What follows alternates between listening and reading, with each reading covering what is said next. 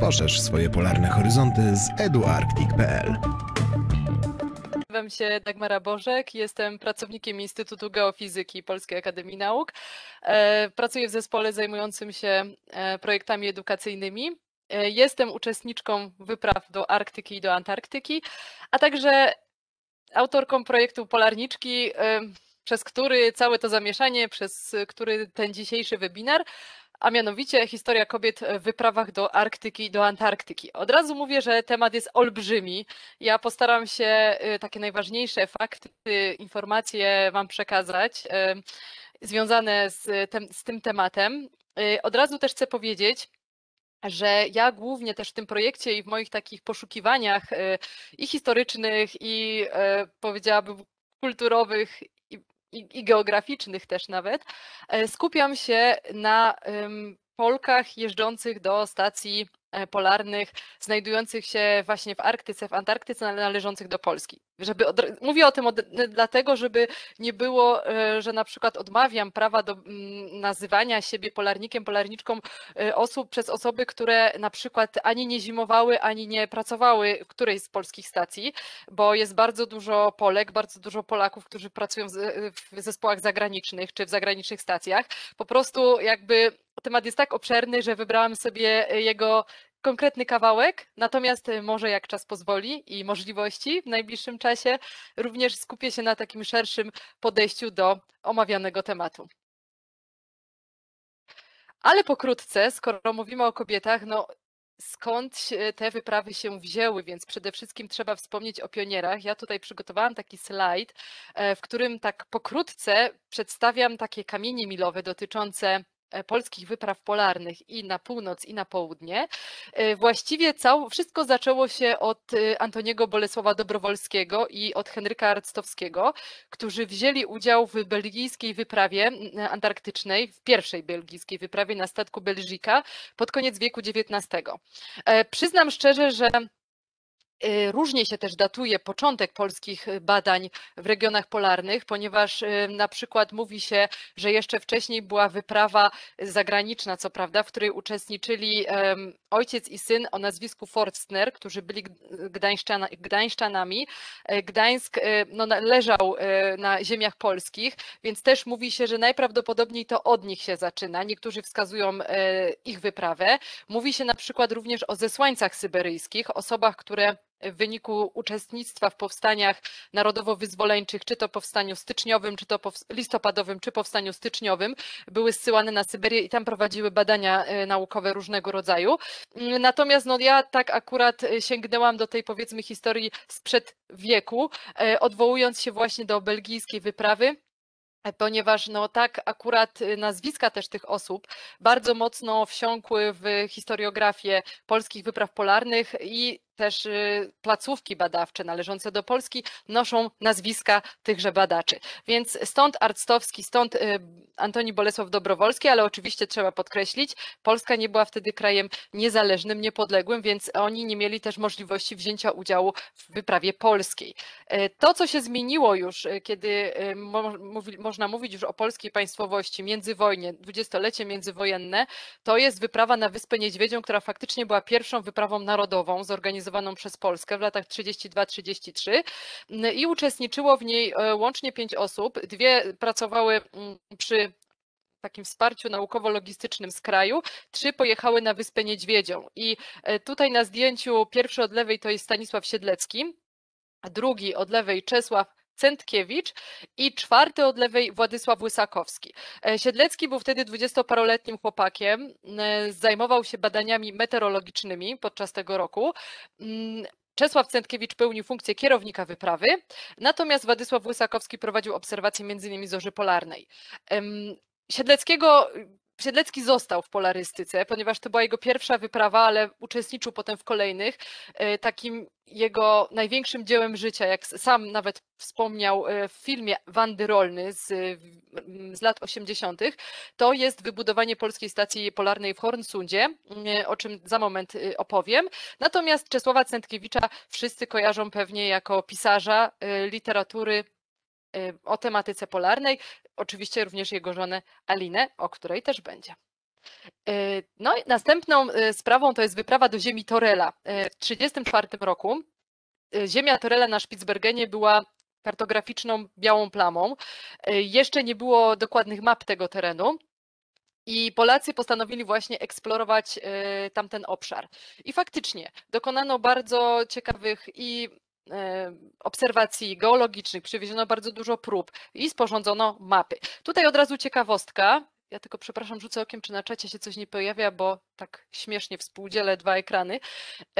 Ciekawostka, całkiem niedawno, bo w 2019 roku, jeśli się nie mylę, odnaleziono ośmiominutowy film, fragment, y, ośmiominutowy fragment filmu do ziemi Torela, który został nagrany właśnie w czasie tej wyprawy.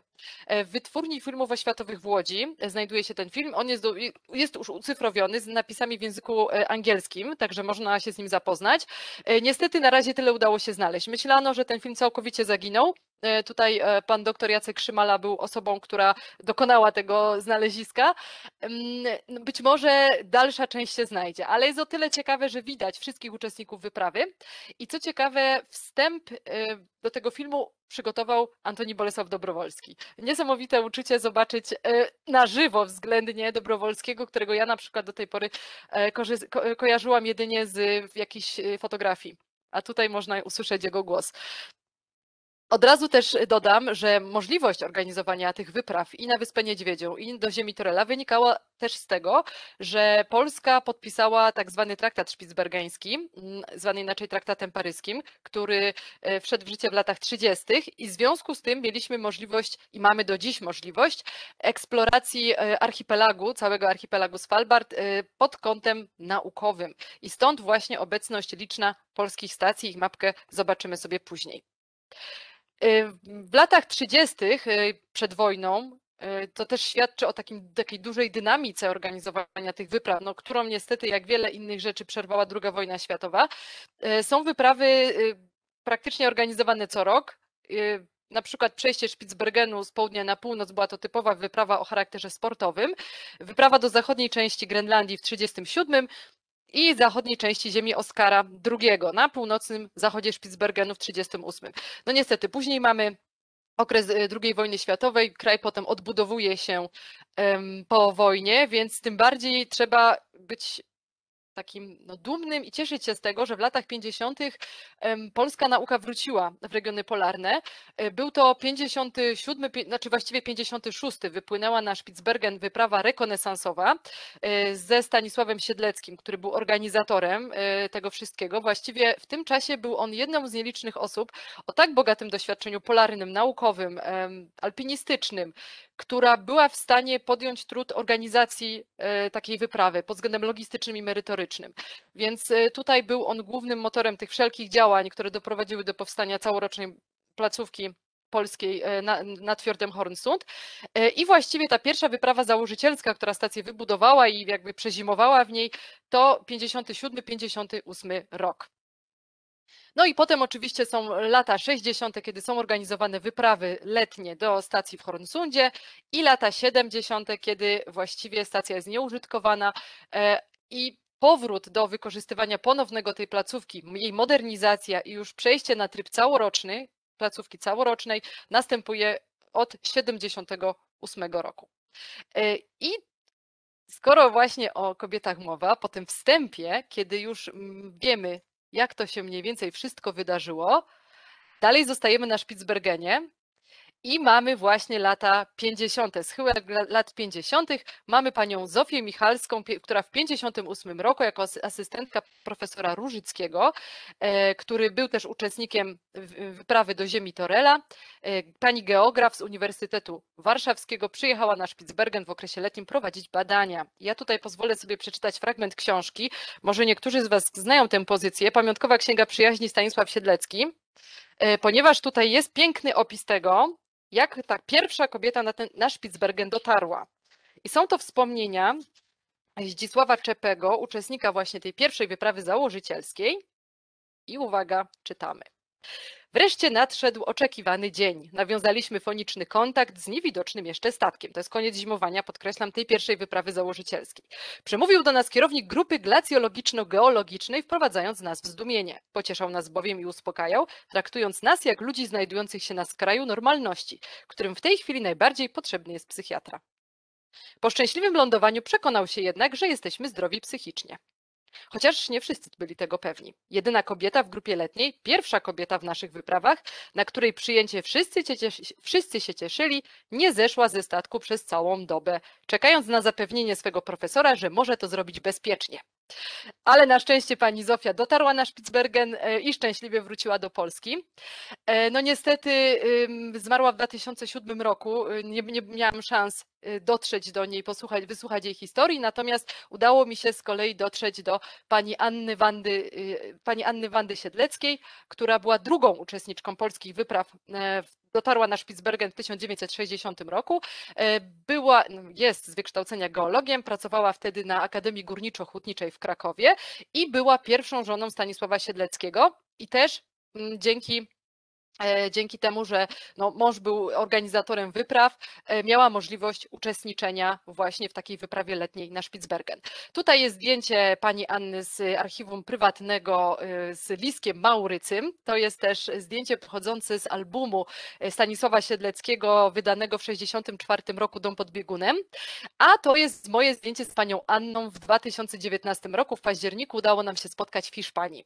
Pani Anna na co dzień mieszka właściwie Hiszpanii, jak jest zimno, w Norwegii, bo normalnie mieszka w Trondheim i e, mimo tego, że jest na emeryturze, dalej pracuje naukowo. I mamy lata, schyłek lat 70. i lat i lata 80. To, co tutaj nas interesuje, to wiemy już, że pod koniec lat 70. ruszyła e, stacja w Hornsundzie na powrót, e, wchodząc w tryb pracy jako placówka całoroczna. Natomiast pojawiły się też stacje które funkcjonują do dziś, a które zostały zorganizowane i do których są e, prowadzone wyprawy co roku, wyprawy letnie, e, należące do różnych uniwersytetów w Polsce. I tak zaczynając od e, początku, to mamy 71 rok, i mamy stację polarną imienia Stanisława Baranowskiego, należącą do Uniwersytetu Wrocławskiego. To jest potocznie Baranówka albo Werenhus. Następnie mamy stację polarną Uniwersytetu Mikołaja Kopernika na Kafiejrze, 75 rok. Y, następnie 84 stacja polarna Uniwersytetu Adama Mickiewicza w Petunia Bukcie i 86 rok stacja polarna Uniwersytetu Marii Curie Skłodowskiej w Kalipsobien. Po prawej stronie wypisałam y, pierwsze uczestniczki wypraw organizowanych do tych stacji. Czyli właściwie można powiedzieć, że kobiety w wyprawach letnich pojawiły się chwilę po tym, jak te stacje zaczęły funkcjonować. Tutaj, e, jeśli chodzi o Kalipsobien, to praktycznie w pierwszej wyprawie, tej założycielskiej można powiedzieć, uczestniczyła pani Janina Repelewska-Pękala, e, żona kierownika tej ekspedycji Kazimierza Pękali. Także mm, to i także, także właśnie ta, i właściwie tutaj też warto podkreślić, że pani Janina e, no, jest taką jedną z rekordzistek, ponieważ uczestniczyła aż łącznie w ośmiu wyprawach letnich do stacji w Kalipsobian. E, tak, i jeszcze jedną rzecz, tutaj tego nie zaznaczałam, ale warto myślę o tym wspomnieć, ponieważ na terytorium Svalbardu, znaczy właściwie Spitsbergenu, no bo Svalbard to jest pojęcie zbyt obszerne. Są też husy traperskie, czyli takie drewniane domki wykorzystywane wcześniej w okresie polowań na dzikie zwierzęta przez traperów norweskich i w sumie nie tylko norweskich.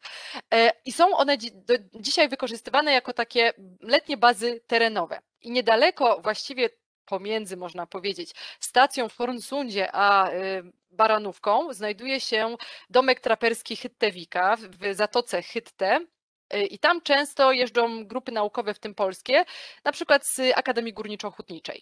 Natomiast y, przy wejściu do fiordu Hornsund mamy y, jeszcze domek traperski na Palfjoden, na takim przylądku i tam od 1980 były organizowane wyprawy Uniwersytetu Jagiellońskiego, również w okresie letnim.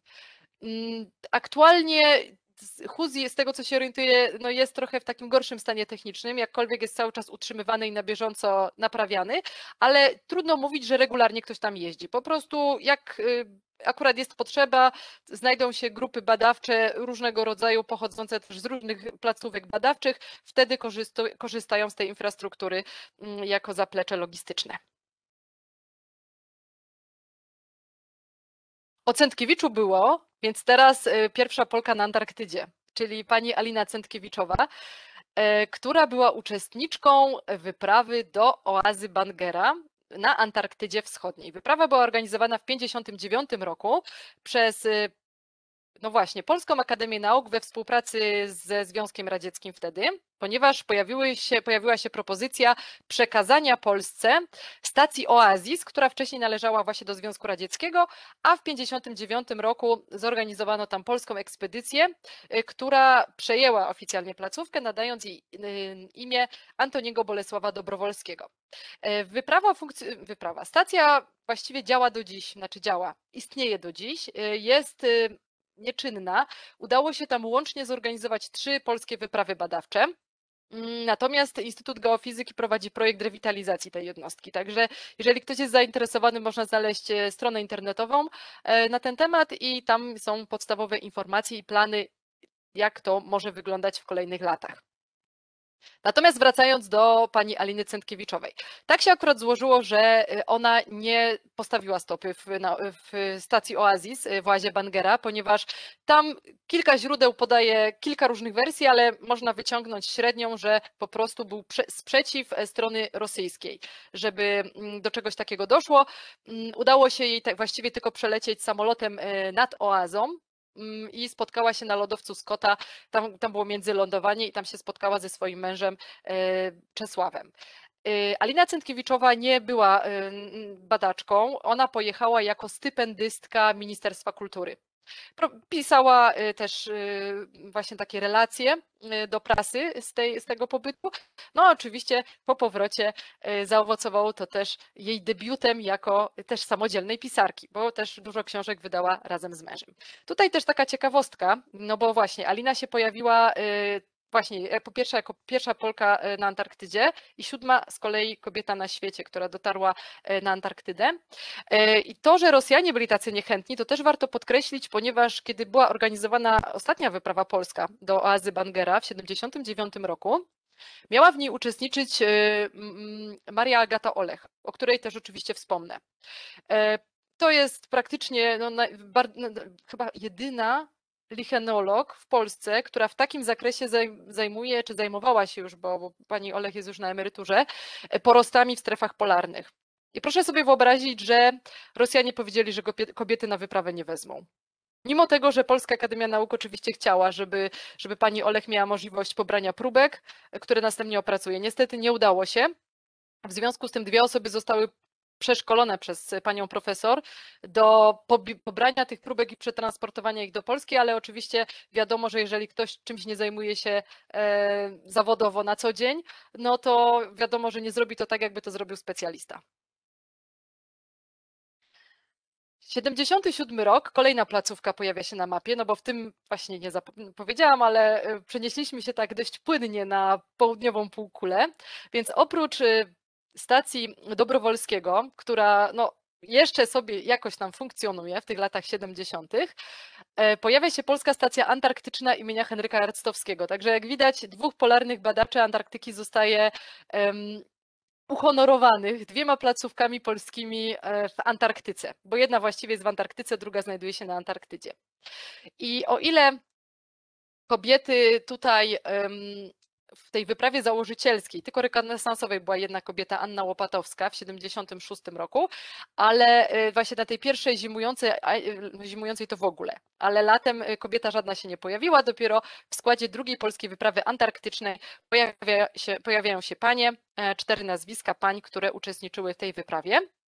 Tutaj też od razu y, taka różnica się pojawiła, bo całoroczna baza w Hornsundzie właściwie była taka, można powiedzieć, dość niechętna kobietom.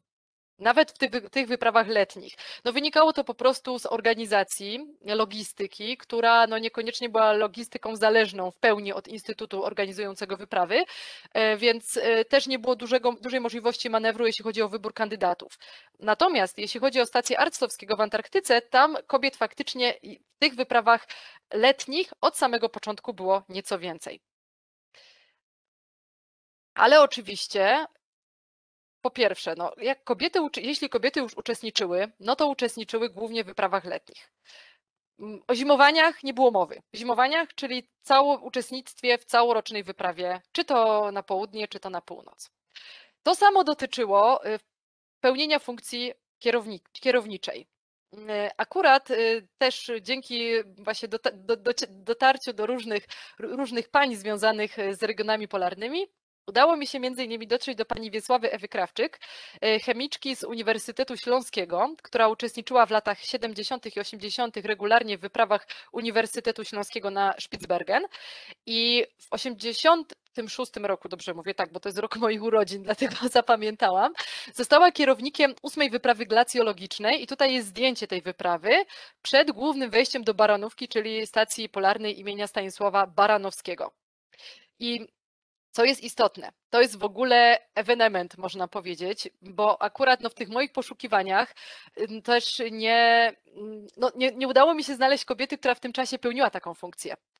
Może była, e, jeśli chodzi o polskie wyprawy. Ja nie, też nie upieram się, że posiadłam całą wiedzę. Cały czas moje poszukiwania trwają, ale e, nazwisko pani Krawczyk jest jedyne, e, do jakiego udało mi się dotrzeć. Z tym, że kulisy y, jakby zostania kierownikiem tej wyprawy były takie, że faktycznie ona miała największe doświadczenie polarne. Uczestniczyła już w tylu wyprawach, że żaden inny uczestnik tej wyprawy, tam jeszcze była pani Jolanta Opołka i trzech mężczyzn, jeśli dobrze pamiętam, albo czterech.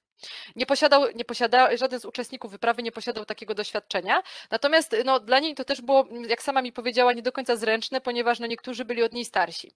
Więc tutaj na tym stanowisku musiała się wykazać bardzo dużą dyplomacją i na szczęście, jak sama twierdzi, jej się to udało. Ale myślę, że warto to też podkreślić, bo to, że w latach 80. pojawia się właśnie kobieta na takiej, na wyprawie pełniąca taką funkcję, no nie jest to czymś takim bardzo, bardzo oczywistym. No i słuchajcie, następuje przełamanie, można powiedzieć, bo cały czas kobiety uczestniczą w wyprawach letnich. Nie ma mowy w ogóle o zimowaniu. Jest wielka dyskusja w środowisku polarnym w ogóle o uczestnictwie kobiet, czy to ma sens, czy to nie ma sensu, ale zimowania nie ma mowy, bo kobiety są słabe, bo będą powodowały konflikty w grupie. Znaczy, ja nie mówię tego tutaj, żeby potępiać. Ja po prostu staram się oddać też klimat, jaki panował, jakie też y, podejście było. Nie, oczywiście też było dużo mężczyzn wspierających, zachęcających, y, żeby kobiety uczestniczyły, ale faktycznie to jest taki czas, kiedy po prostu wszystko się tworzyło i wiele rzeczy, y, które dzisiaj funkcjonują w miarę sprawnie, no nie było oczywiste. E, południe i stacja Arctowskiego to jest pierwsza placówka, gdzie właśnie do tego przełamania, można powiedzieć, doszło. I właśnie pierwszą e, zimowniczką e, była pani Anna Kołakowska, biolog, która uczestniczyła właściwie w dwóch wyprawach. Mm, najpierw to była wyprawa ósma, lata 83-84, a potem dziesiąta, lata 85 i 86. W obu wyprawach uczestniczyła e, z mężem, Edwardem e, Kołakowskim. Oboje są e, naukowcami, też już na emeryturze, ale pracują cały czas naukowo, jesteśmy w stałym kontakcie, więc to też było no, jak widać już z tych historii, które tutaj przytaczam, jeżeli kobiety pojawiały się na wyprawach, to często albo przyjeżdżały z mężami, y, albo no, no, raczej to, była, to był taki jeden z głównych nurtów. Y, mało było kobiet, które takie, które przyjeżdżały, znaczy nie chcę też uogólniać, bo też było już właśnie pojawi w tych grupach regionalnych i w stacjach letnich też, też kobiety przyjeżdżały już i to nie jest tak, że miały mężów i tylko dlatego przyjeżdżały, ale jeśli chodzi właśnie o te zimowania, to tutaj jednak y, ten czynnik był dość istotny. Co też warto wspomnieć, y, pani Anna Kołakowska po swoim pierwszym zimowaniu dostała po powrocie do kraju została pochwalona. Powiedziano jej, że się sprawdziła jako pierwsza kobieta na wyprawie i stacja stoi dla niej otworem. I to też równocześnie oznaczało, że stacja stoi otworem dla kobiet, że kobiety mogą też zimować. Jak widać na dziesiątej wyprawie pojawia się pani Wiesława Jachimiak. E, pojawia się też dlatego oczywiście kompetencje i to, że prowadziła badania kryla, podobnie jak państwo kołakowscy, ale z drugiej strony to też była inicjatywa pani Kołakowskiej, że chciała, aby w wyprawie uczestniczyła druga kobieta. Dlaczego? Ponieważ ona, nie, nie, to nie jest tak, że wspomina wyprawę tragicznie, że dochodziło do jakichś strasznych rzeczy, ale rozmawiamy w tym momencie o sytuacji psychologicznej, w momencie, kiedy wyprawy są tylko męskie i nagle pojawia się na nich kobieta. I co, jaki, jaki, y, do jakiego procesu dochodzi? Każdy mężczyzna podświadomie szuka w tej kobiecie swojej powierniczki. Pani Anna Kołakowska mi opowiadała, że to było bardzo uciążliwe, kiedy wszyscy chcieli się jej zwierzyć, potrzebowali jej rozmowy. Mówiła, że nawet y, kucharz potrafił zaciąć się nożem w kuchni, żeby ona zakładała mu opatrunek. Także to wyraźnie pokazywało, jak bardzo te emocjonalne potrzeby w takim zamkniętym środowisku były silne i ta obecność kobiety jednak wpływała pozytywnie. Natomiast stąd właśnie pani Kołakowska stwierdziła, że woli żeby była jeszcze druga kobieta i żeby te siły y, się inaczej po prostu w grupie rozkładały. I też liczba kobiet, y, bo już mówiliśmy sobie, że jedną z takich głównych dyskusji no to było, czy kobiety mogą być, czy mogą nie być na tych wyprawach, czy to letnich, czy zimowych. A drugą taką kwestią, którą właściwie do dzisiaj gdzieś się tam w środowisku roztrząsa, to jest ile tych kobiet powinno być. Jest, są przeróżne teorie, że jedna, a może dwie, a może więcej. Czy, a co wtedy, co, co jeśli kobieta jest kierownikiem, bo kierownik nie ma płci, więc faktycznie y, to jest dyskusja cały czas żywa, aczkolwiek wydaje mi się, że już na tyle y, instytuty, które organizują wyprawy, mają wypracowaną pewną metodykę, że już właściwie coraz mniej ma to znaczenie ile, ile jest po prostu kobiet, ile jest mężczyzn.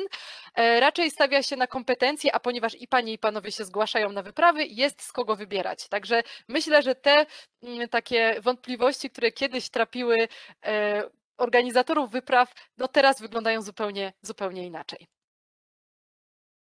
No i wreszcie przychodzą lata 90., ale proszę zwrócić uwagę, że czasu minęło dość sporo, zanim polska stacja e, w Hornsundzie na Spitsbergenie zdecydowała się na udział kobiety w ekspedycji całorocznej. E, to jest pani Danuta Bednarek, geolog i wyprawa 18, lata 1995-96. Spotkałyśmy się w 2020 roku. E, tak? Tak, to był 2020 chyba. Jest to możliwe? W COVID-zie? A może trochę wcześniej.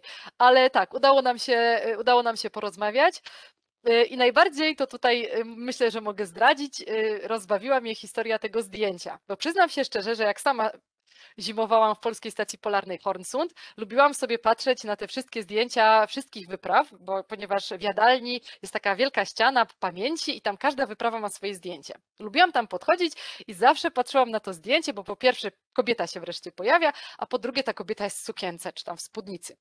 No więc pytam się pani Danuty, czy ona zawsze taka elegancka była, że, że no, to było jedyne zdjęcie, które jej widziałam. E, okazało się, że zupełnie nie, że spódnica była tylko na Boże Narodzenie i cytując moją rozmówczynię, jeżeli ubiorę spódnicę, to będzie to spódnica do trumny. Także y, generalnie na co dzień y, pani Danuta chodzi w spodniach, raczej ubiera się w ciemne kolory, a zawsze wolała bardziej praktyczne, y, praktyczną odzież, ponieważ, ponieważ należała do klubu wysokogórskiego, do, była speleologiem i jako jedna z nielicznych kobiet wtedy w ogóle chodziła po jaskiniach, także była przyzwyczajona właściwie do przebywania w takim środowisku męskim. I pseudonim, y, który z tamtych lat, który został do dziś, to jest Śrubka.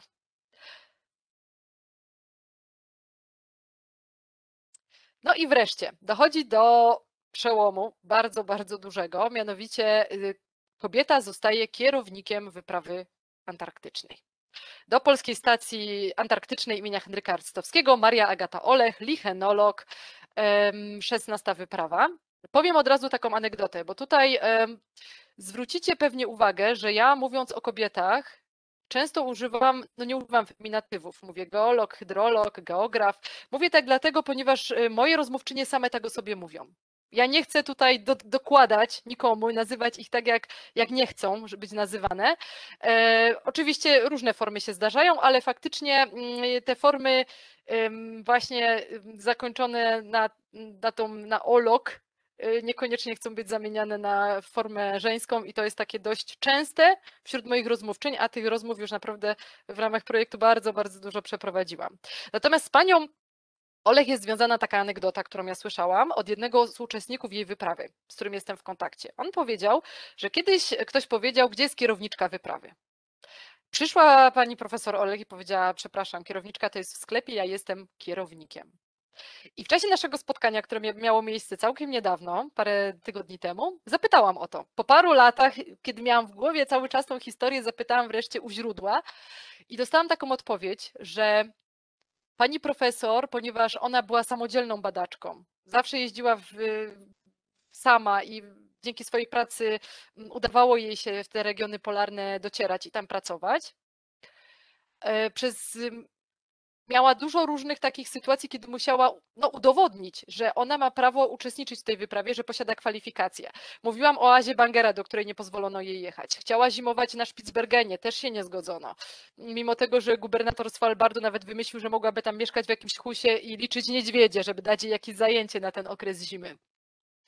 E, więc też y, było sporo przeciwników jej uczestnictwa e, w wyprawie jako kierownik. E, tutaj z informacji od samej profesor Olek wiem, że mm, Stanisław Rakusa-Słuszczewski, wtedy jeszcze z Instytutu Ekologii Polskiej Akademii Nauk, był takim właśnie orędownikiem tej kandydatury. Mm, Stanisław Rakusa-Słuszczewski, założyciel stacji imienia Henryka Arctowskiego. I wracając do tej kierowniczki, więc pytam, dlaczego, dlaczego, dlaczego tak? I po, tym, po tych wszystkich doświadczeniach, kiedy naprawdę ona podkreślała, że zawsze musiała gdzieś tam się przebijać, powiedziała, że to nie chodziło o to, że ona czuła się wyzwolona i chciała być kierowniczką, albo czuła się dotknięta, że ktoś tak na nią mówi. Nie. Ona po prostu chciała zniknąć. zniknąć wśród tego tłumu mężczyzn uczestniczących w wyprawie, nie chciała być wyróżniana, że o niej mówiono inaczej. Że, nie, że kierownik, stąd wolała, wolała zdecydowanie formę kierownik. Y, natomiast no, często spotykała się też z takim określeniem ona, Dlatego, y, dlatego tak trochę historię o profesor Olech mam w głowie, jak miałem zatytułować jako bezimienna na przykład. Bo często właśnie to, że była kobietą akurat na tym stanowisku, no, był, niektórym osobom bardzo, bardzo przeszkadzało.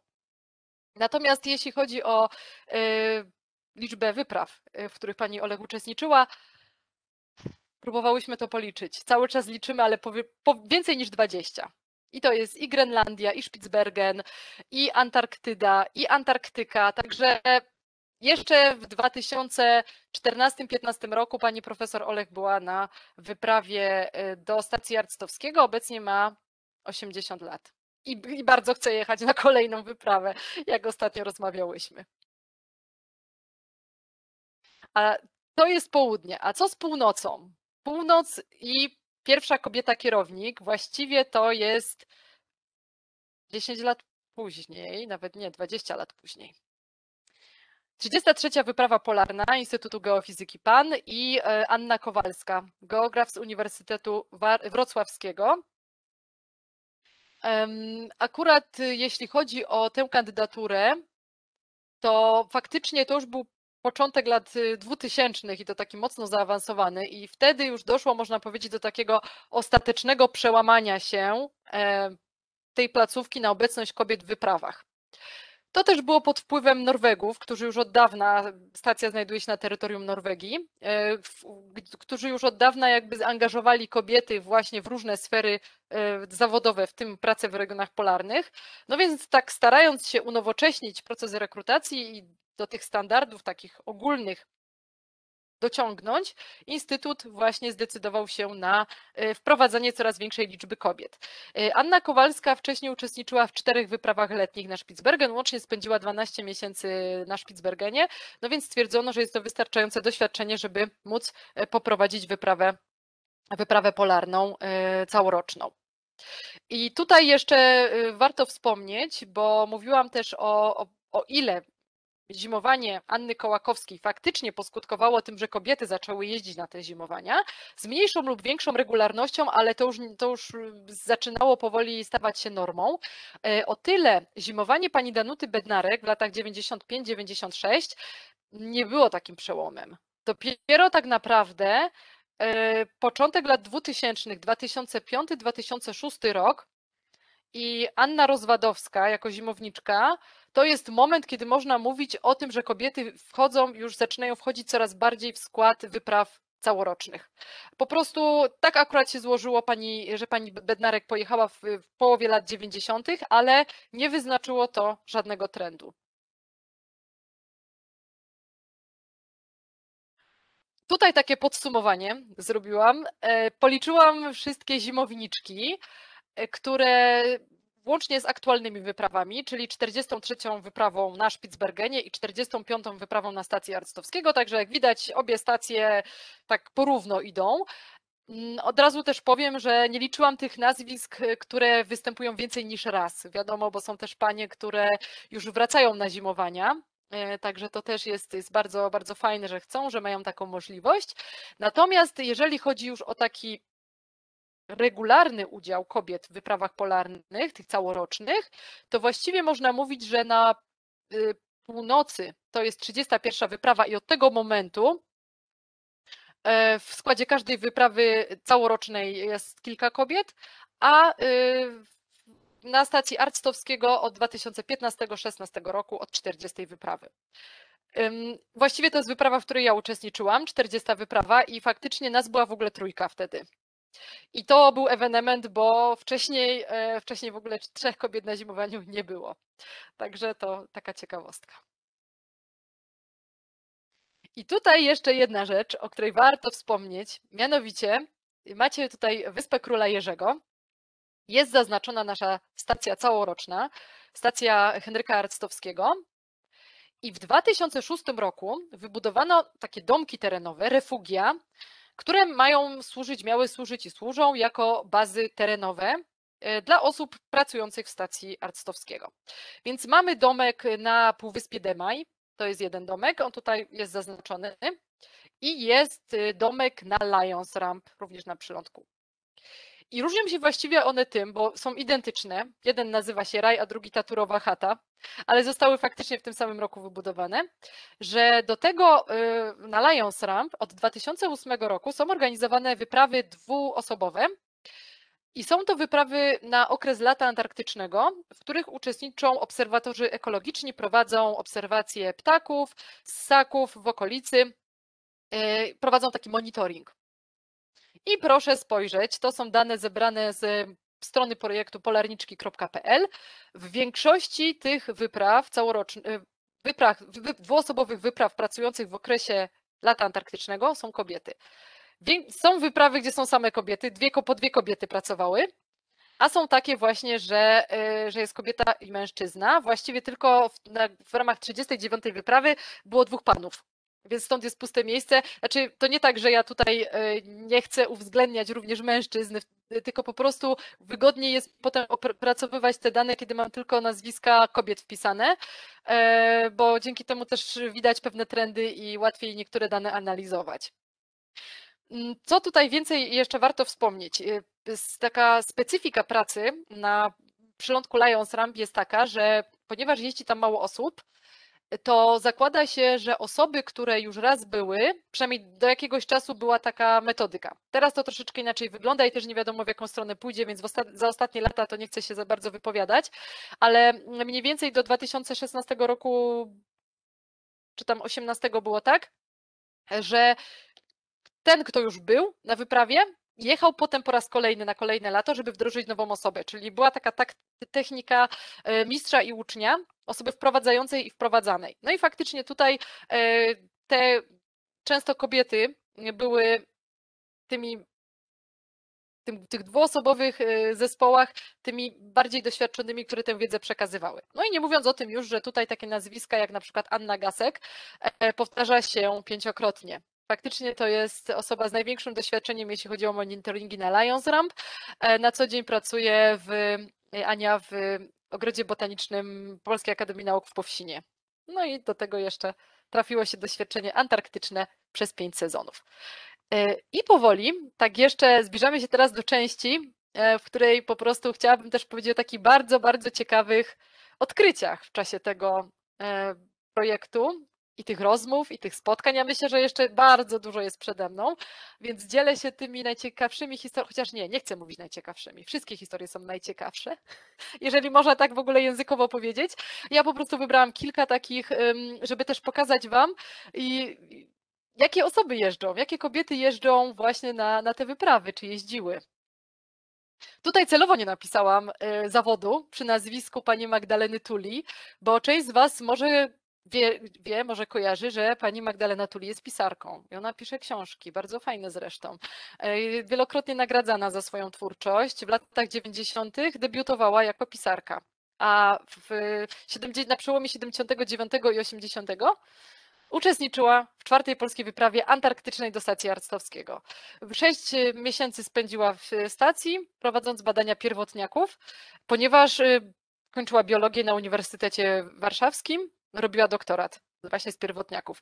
To jest dla niej zamknięty etap. Ona do tego za bardzo nie wraca, nie chwali się tym, także rzadko można znaleźć w jej e, biografii w ogóle informacje, znaczy biografii, takich notkach biograficznych, które czasami gdzieś się spotyka. Właśnie o Antarktydzie, o Antarktyce.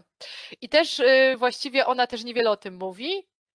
Mm, parę lat temu ukazał się wywiad Justyny Dąbrowskiej, wywiad rzeka właśnie z Magdaleną Tuli i tam o swoim pobycie na stacji Arctowskiego w takim rozdziale o poszukiwaniu zawodu mówi chyba przez pół strony. I to jest wszystko. Także to jest y, etap zamknięty, natomiast ciekawostka właśnie, że, że takie też osoby docierają w regiony polarne. E, Marta Potocka, kolejna osoba, zdjęcie możecie kojarzyć e, z wydarzenia na Facebooku, e, ponieważ zdjęcie Marty akurat się tam pojawiło. Wcześniej Markowska, biolog morza, uczestniczyła łącznie w czterech wyprawach antarktycznych w okresie letnim. I była pierwszą Polką, która nurkowała w regionach polarnych w celach naukowych. Drugą Katarzyna Stepanowska, która też spotkała się z Martą w czasie w czasie, swo, swo, swo, znaczy w czasie wymiany wypraw. E, także Także taka, taka bardzo, bardzo takie nietuzinkowe zainteresowanie. Teraz mówię, to może, może jest dość oczywiste, że, że się nurkuje i prowadzi tego typu badania, no a wcześniej jeszcze tak, no nie do końca to było takie jasne. Też dla porównania, mm, z poprzednich takich poszukiwań moich udało mi się dotrzeć, że najprawdopodobniej pierwszą grupą nurkującą w celach naukowych w rejonach polarnych, akurat na Spitsbergenie, to był Jerzy Giżejewski i Waldemar Roszczynko w 1980. Tak dla, dla porównania podaję. Joanna Perchaluk, no zupełnie y, no, niesamowita historia. To jest dziewczyna, która właściwie była już na trzech zimowaniach.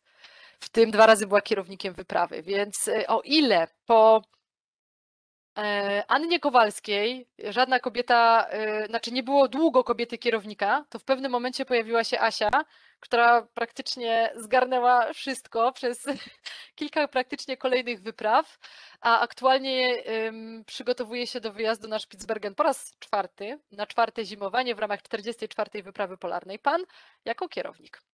Jak wszystko się uda, za co mocno trzymam kciuki. Będzie można mówić, że trzy razy była kierownikiem wyprawy, co jest w ogóle niesamowitym rekordem. Wydaje mi się i czymś no, niesamowitym w historii badań polarnych. E, Katarzyna Greń, geomorfolog, to jest też, e, akurat podaje Kasię jako mm, jeden z, jeden, z, e, jeden z przykładów osób, które regularnie wracają w regiony polarne, bo takich kobiet, które są um, takimi no, rekordzistkami jest, jest dość dużo, prawda, bo już i pojawiła się Anna Perchaluk. Wcześniej wspominałam o pani Repelewskiej-Pękali, Janinie, czy o Wiesławie Ewie Krawczyk, która też uczestniczyła regularnie w wyprawach. Y, Kasia do, należy właśnie do tego grona. Y, osiem razy uczestniczyła w wyprawach letnich do stacji Uniwersytetu Mikołaja Kopernika na Kafiejrze na Spitsbergenie, a na początku marca tego roku wróciła ze swojego pierwszego zimowania y, w polskiej stacji antarktycznej imienia Henryka Arctowskiego.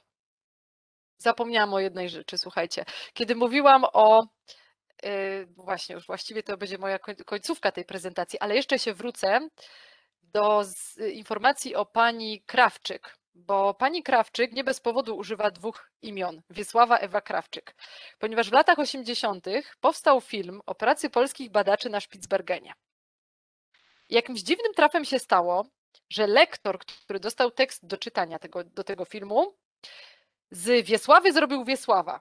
Bo jakoś trudno chyba było sobie wyobrazić kobietę pracującą w ogóle w takich regionach polarnych, więc doszło do pewnego absurdu, że na filmie było widać kobietę, długie włosy, brak zarostu, a mówiono, że Wiesław. No więc od tego momentu pani Krawczyk powiedziała, to ja jestem Wiesława Ewa Krawczyk, żeby już się nikt więcej nie pomylił. Tak, to już jest przedostatni slajd. Y, właściwie, tak jak mówiłam, wierzchołek góry lodowej. Historii jest bardzo, bardzo wiele. Y, tutaj z tych zdjęć, które wybrałam tak, y, chcąc pokazać różnego rodzaju i epoki, i styl ubierania się uczestniczek wypraw polarnych, jest zdjęcie na środku, przedstawiające no, nas dość dużo, dużo kobiet w jednym miejscu.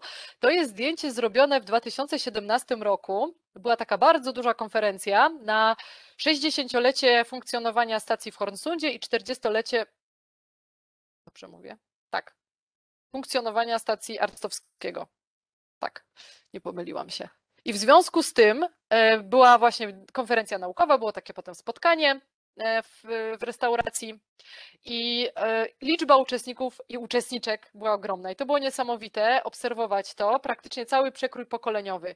Począwszy od najstarszych polarników do najmłodszych. Tutaj na zdjęciu jest córeczka jednej z koleżanek, więc w ogóle super. No i też ile nas było. Było nas tak dużo, że, że właściwie no, to było widać. Znaczy, było widać po prostu, ile kobiet już e, jeździ, jeździło w regiony polarne. Także bardzo, bardzo sympatycznie i, i fajnie, że, że to idzie w taką stronę, bo tylko różnorodność, moim zdaniem, e, pozwolenie każdemu podzielenia, podzielenie, do, podzielić się swoimi umiejętnościami daje nam pełen obraz i pełne wykorzystywanie tego potencjału, jaki jest. I to dotyczy też prowadzenia badań e, w regionach polarnych.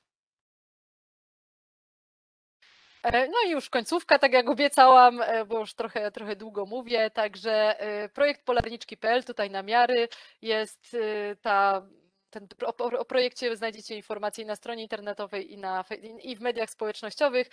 Na bieżąco publikuję tam różne informacje. Tak jak mówiłam, no, na chwilę obecną Projekt skupia się głównie na kobietach, które pracują i pracowały w oparciu o polskie stacje w Arktyce i Antarktyce. Jakkolwiek w przyszłości też chciałabym ten projekt rozszerzyć e, i też tworzyć bazę kobiet w ogóle pracujących w regionach polarnych, bo naprawdę tych nazwisk jest bardzo, bardzo dużo. Także to też tak podkreślam, żebyście mieli świadomość, że ja po prostu przedstawiam tylko element tej całej historii, bo y, tak jak mówię, i na statkach, na y, statku Oceania, Instytutu Oceanologii PAN, tam też bardzo kobiet, dużo kobiet pracuje, czy na y, statkach, y, ekspedycjach zagranicznych do, w regiony polarne. Także nazwisk kobiet, Polek pracujących w Polsce za granicą jest naprawdę, naprawdę bardzo dużo. E, to jest ostatni slajd. Gdyby były jakieś pytania, e, myślę, że jest teraz e, chwila, żeby, żeby pytać, pytać i jeszcze raz pytać. A jeżeli ktoś by chciał później, to oczywiście można przez stronę projektu się ze mną skontaktować albo przez adres e-mail dagmarabożek.igf.edu.pl. Projekt eduarctic.pl jest finansowany ze środków Ministerstwa Nauki i Szkolnictwa Wyższego w ramach programu Dialog.